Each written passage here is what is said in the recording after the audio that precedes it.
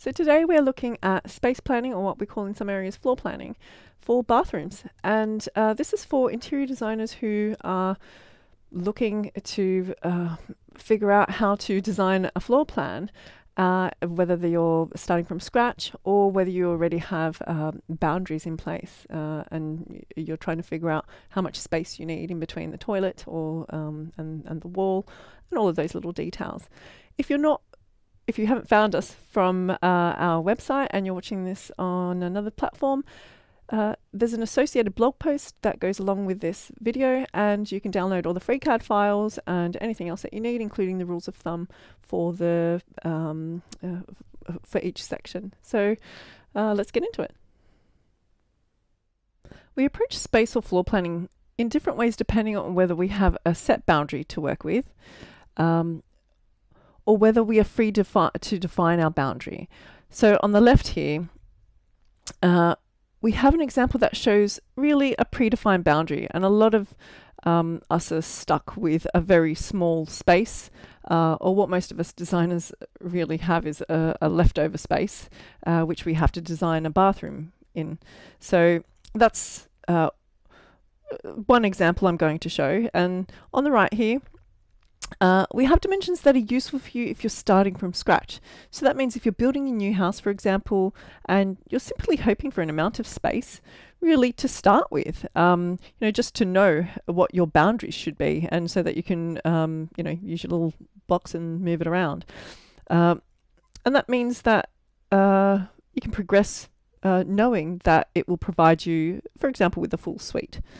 So in both cases, you might find that the space is either too large or too small. Um, so use the rules of thumb in the associated blog post as a guide. And if you have less space, for example, um, aim for those lower boundaries. Or of course, if you'll need, um, well, if you have the lower boundaries, you'll need to prioritize amenities uh, based on your brief and regulations in your area. But if you have more space, you might decide um, that you don't want to waste you know, buildable floor area. So, you know, it might not make sense to go out. Um, um, and uh, you know you want to create more of a sustainable footprint that doesn't go overboard but still provides you know, a level of luxury so you can use this floor plan here and um, when making that floor uh, or making when making floor floor plan or space planning decisions in a bathroom when you're starting your designs from scratch Let's have a closer look at the individual floor plans and I can explain the reasoning behind a few things. I think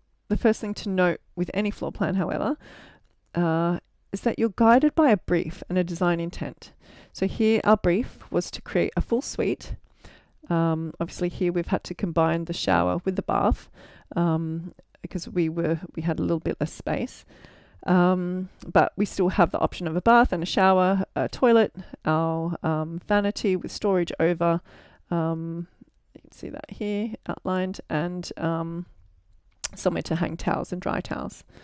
So, uh, and it's quite light here actually, but we also have a 1.5 meter turning circle, which is about 59 inches um, in diameter. Uh, obviously, in a smaller space, uh, just a slight comment is it is allowable to get under the vanity for that turning circle. So um, that's just wanting to highlight that. So if you uh, uh, ever wanted to or needed to uh, have uh, transfer your bathroom into an accessible bathroom for later, um, it's always an option.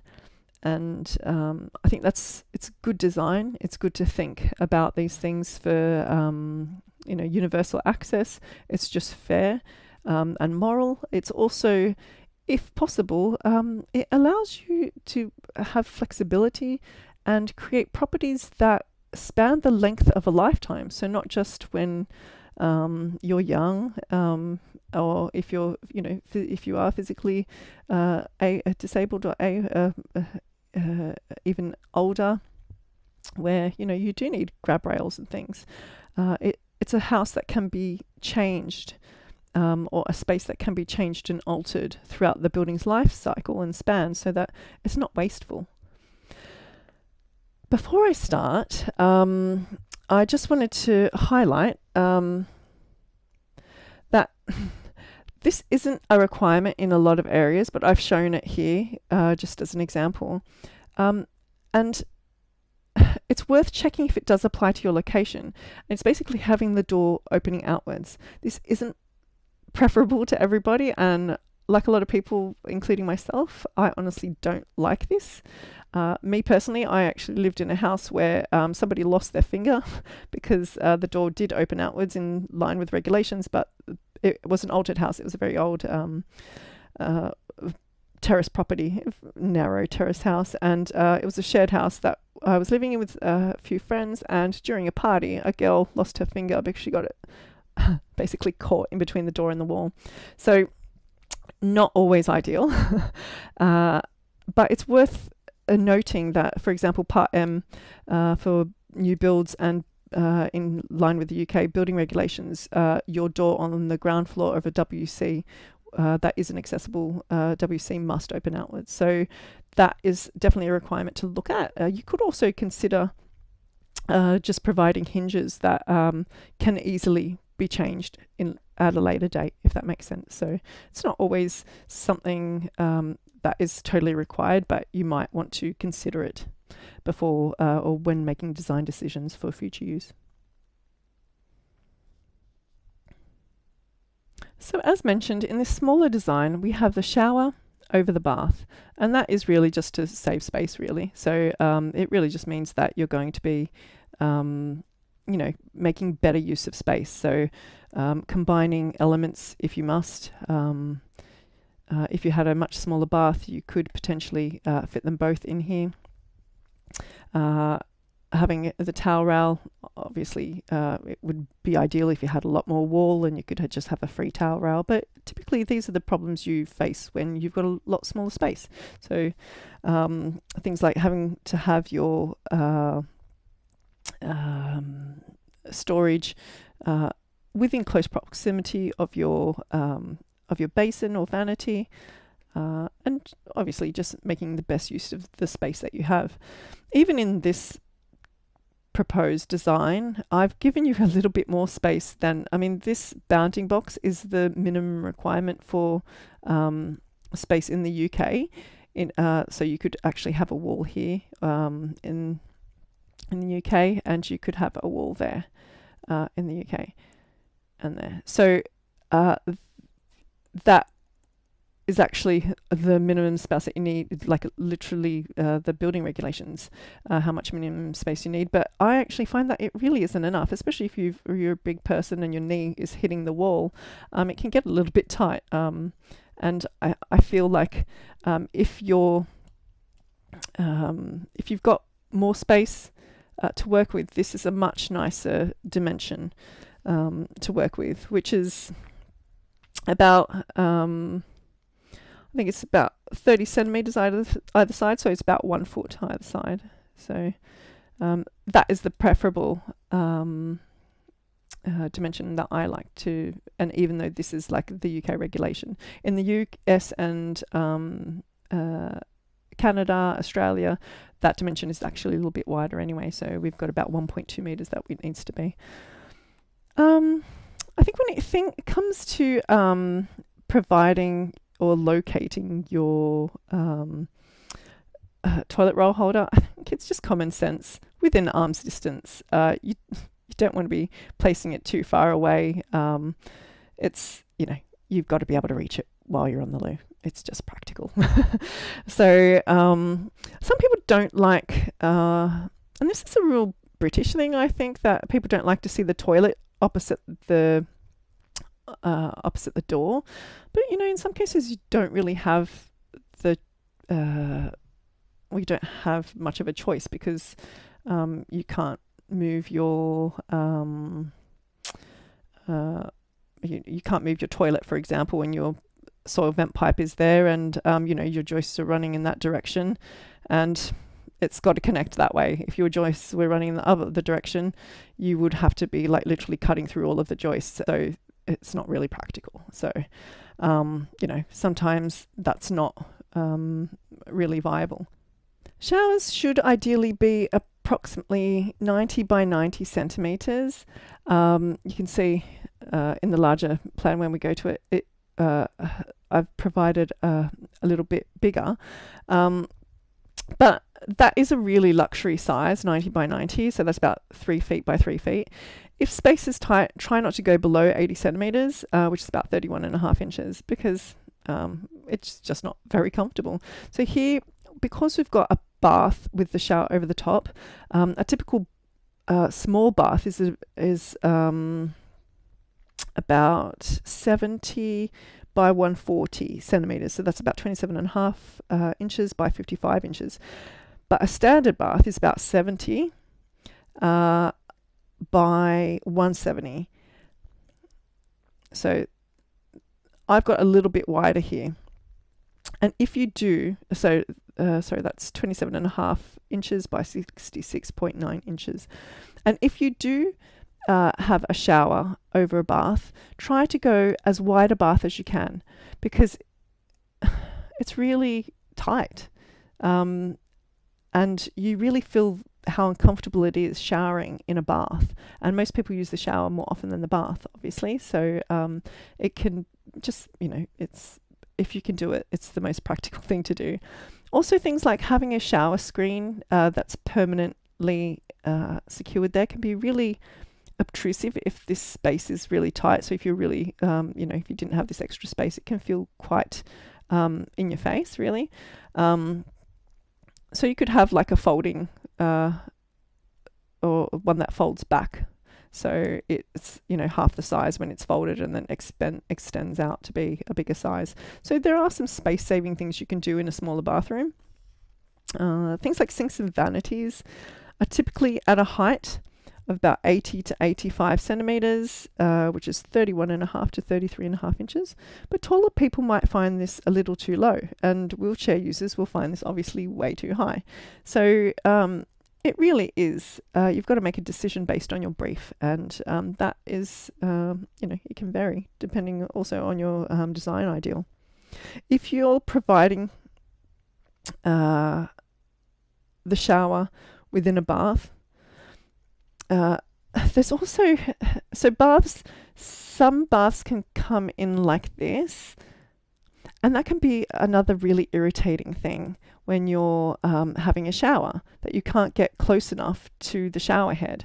So obviously, I've got a nice big shower head here um, that comes out past that. But if you're trying to shower on a slope, it, it's dangerous, firstly, and um, it's really not ideal. So the type of um, form in the bottom of the shower of the bottom of the bath is actually really important to when you're considering um, when you're purchasing your bath as well. Now let's look at the larger space.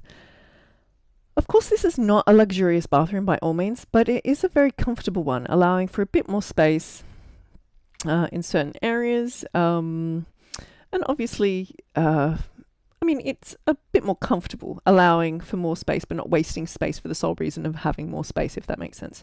So the same brief applies in regards to having a full suite, so separate shower, bath if you can. Um, but here you are more free to let the design idea guide your layout or floor plan. So that is quite a luxury in a way, at least from a designer's perspective. So what I mean by the design idea is um, obviously the design that is um, that you're following into the detail as um, uh, that's guiding the decision making behind your design process. So, uh, if you're a designer, you would know what that means. That um, obviously you have a design idea that's guided, um, and all of your decisions are, uh, are based on that. So, um, uh, including the shape of the room, the space, uh, and how much room you've got. So, if it is, you know, it can be a really quite a utilitarian design, and because of that, you're being guided by modernism ideals. But um, in this larger design, uh, I've just created a, a, real simple layout that allows for really practical things. Um, Obviously, an opening window, you will be surprised in how many countries that is not actually a requirement in a bathroom, but a lot of people really do appreciate it uh, for obvious reasons. um, somewhere to dry towels, not just hooks, I think is really important if possible. Um, and that is uh, obviously, if you have more space to do that, that is very welcome in many cases. typically, a separate vanity is quite a luxury. Um, also helps with a design intent to really um, give you a bit more space. You can see here our wheelchair turning circle is, you know, obviously we have a lot more clear space without anything having to, um, nothing bounding into into the space at all. Uh, I think the final thing I wanted to cover is the location of services. Um, and I think it's really, really, really important to, especially those of you um, who are, are, typically working on new builds. And so this is where you would have this situation where you are free to define the size of your um, overalls. You know, when you're more free to de define the size and scale and shape of a room, um, you might also have the freedom to locate things like pipes. And I think it's really, really important. Not many people do know this unless they're practicing architects, um, but it's really, really critical that exterior walls, and this is our exterior wall because this is where the window is, uh, obviously to the outside, but um, exterior walls, especially in new buildings, should never, ever, ever be penetrated with any kind of pipes, um, wiring, uh, or anything uh, because that is typically the thermal barrier. And um, you can uh, if that's punctured it will um, uh, lower the thermal quality of your building and might uh, like allow escaping air and um, really can um, degrade the overall um, thermal quality of your building and if that's a new building it's really it's a big problem so never ever ever um, design uh, a wall that has been punctured. So uh, what I mean by that is if you did have your basin here, you wouldn't be putting your plumbing in the wall. You would have to build this wall out to allow for that plumbing to go to wherever the soil pipe is. So um, let's just assume we do we've built out this wall to allow for the soil pipe, and our soil pipe has been hidden in this wall. Um, what we would be doing is um, trying to hide that in a in a way that's been designed really beautifully, rather than what typically happens is you've got the soil pipe there and the wall's being built out, and I mean, it's quite obvious where the soil pipe is because you've got this boxing in the room. So obviously, this all needs to design be designed. Um, with uh, the overall design intent in mind and the brief in mind, but there are certain things that uh, you need to know, such as never, ever, ever penetrate the external wall. Um, and, um, you know, if you are designing a, uh, around existing pipes, you might, for example, do what we've done here and build out this whole section and make it align with, you know, the boxing out of the bath, for example. So you might expect your um, soil pipe to be there.